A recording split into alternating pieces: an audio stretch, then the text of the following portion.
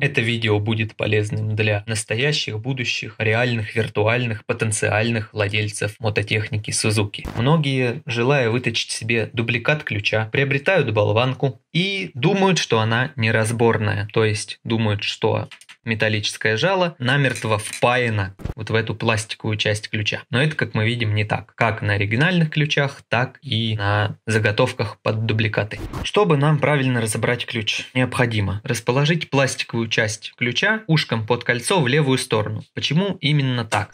Потому что отверстие под шплинт не сквозное. И чтобы не снимать вот эту алюминиевую накладку с логотипом, как в моем случае я снял с двух сторон, мы снимаем только с одной стороны, располагая ушком под кольцо влево.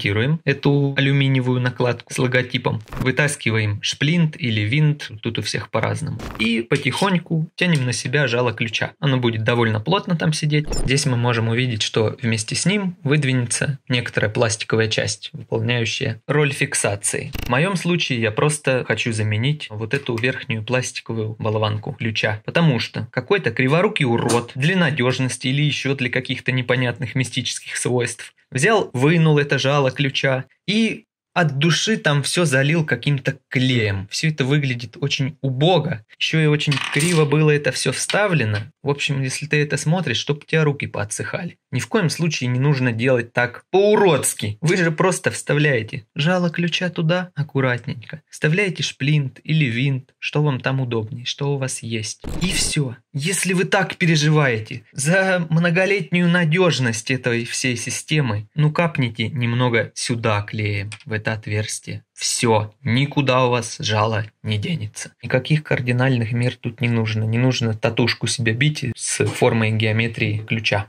Вот так все это выглядит в разобранном виде. Алюминиевую накладку с логотипом отклеиваем, удостовериваемся, что там нет ни винта, ни шплинта. И зажав где-нибудь вот эту пластиковую часть э, плоскогубцами, руками не получится, потому что выскальзывает и очень плотно там все запрессовано. Зажимаем пластиковую часть, тянем плоскогубцами за металлическую и вытягиваем вытягивается вот этот фиксирующий треугольник и жало ключа вместе с ним. Оно немного, кстати, на дубликате отличается вот этой вот частью, как мы можем видеть. Опять примагнитилось.